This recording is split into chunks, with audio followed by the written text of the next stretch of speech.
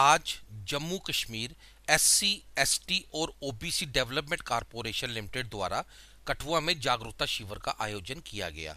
जिसमें मुख्य तौर पे ओबीसी के लोगों को केंद्र और राज्य की योजनाओं के प्रति जागरूक करना था। इस मौके पर SC, ST, OBC corporation Kathua के डिस्ट्रिक्ट मैनेजर के के भगत ने कहा ये तमाम योजनाएँ गरीब लोगों के लिए हैं जिससे इन लोगों को फ़ायदा होगा।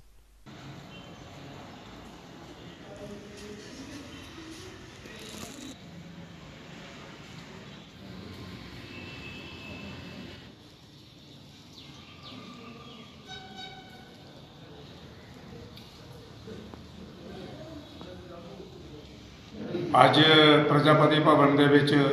ਐਸਸੀ ਐਸਟੀਓਸੀ ਕਾਰਪੋਰੇਸ਼ਨ ਦੇ district manager K K Bhagat ਸਾਹਿਬ ਨੇ ਇੱਥੇ ਅਵੇਅਰਨੈਸ ਕੈਂਪ ਲਗਾਇਆ ਔਰ ਤਕਰੀਬਨ ਜਿਤਨੀਆਂ ਵੀ ਸਾਡੀਆਂ ਓਬੀਸੀ ਦੀਆਂ ਬਰਾਦਰੀਆਂ ਤੇ ਨੁਮਾਇੰਦੇ ਸਾਡੀਆਂ ਭੈਣਾਂ, ਸਾਡੇ ਭਰਾ ਇੱਥੇ ਆਏ ਔਰ ਆਪਣੀਆਂ ਆਪਣੀਆਂ ਆਪਣੀ ਤਕਲੀਫਾਂ ਸੁਣਾਈਆਂ ਔਰ ਮੈਨੇਜਰ ਸਾਹਿਬ ਨੇ ਜਿਹੜੀ ਸੈਂਟਰ ਦੀਆਂ ਸਕੀਮਾਂ ਨੇ ਜਾਂ ਆਪਣੀ ਸਟੇਟ ਦੀਆਂ ਸਕੀਮਾਂ ਨੇ ਉਹਦੇ ਬਾਰੇ 'ਚ ਲੋਕਾਂ ਕੀ ਅਵਗਤ ਕਰਾਇਆ ਕਿ ਅਸੀਂ ਕਿ ਲੋਕਾਂ ਦਾ ਫਾਇਦਾ ਉਠਾਉਣਾ ਚਾਹੀਦਾ ਕਿਉਂਕਿ SC ST corporation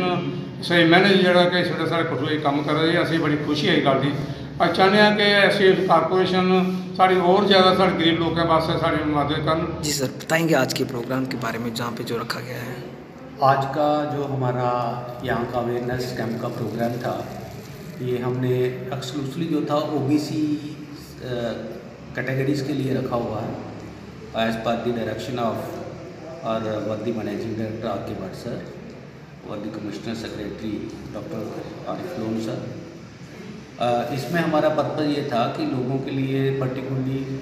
OBC categories के साथ जो सोशल सेक्टर में लोग बिलोंग करते हैं, उनके लिए सोशो इकनॉमिक और एजुकेशनल अपलिफ्टमेंट से रिलेटेड जो स्कीम्स थी, उनकी जानकारी हमने जो है वो यहाँ पे आज दी है। और उसमें बहुत सारे लोगों को जो है अवेयर किया हमने, लोगों ने इस चीज़ को अप्रिशिएट भी किया है। और इस तरह की अवेयरनेस कैंपेन जो है, हम एंटायर डिस्ट्रिक्ट कठुआ में जो है, वो करते आ रहे हैं और हमें अच्छा रिस्पांस भी मिल रहा है। और मुझे लगता है कि इन स्कीम्स के साथ जुड़ने के बाद लोग जो है उनके लिए बेटरमेंट के लिए जो उनकी स्कीम्स हैं, सरकार की तरफ़ से चलाई जा रही है जो, वो ज़रूर जो है, वो लाभान्वित होंगे। और हमें जो है खुशी होगी कि जो स्कीम्स समाज की अपलिफ्टमेंट के लिए आ रही हैं वो उन तक हमारे J and K S C S T O B C development corporation के माध्यम से उनके डोर स्टेप तक पहुँचे आज के हमारे इस प्रोग्राम का यही उद्देश्य था।